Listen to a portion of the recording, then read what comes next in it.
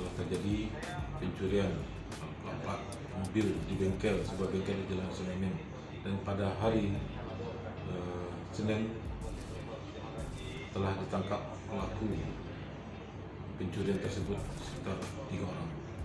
Yang pertama bernama LP, YP dan WL dan dia mengakui itu diambil dan dicuri dan untuk dipergunakan untuk jual belikan. Dari pengakuannya ada beberapa kali, tiga kali dia mencuri eh, peralatan mobil tersebut. Peralatan mobil tersebut ada plat mobil, baterai, dinamo di tempat yang berbeda. Kita cek urin eh, negatif.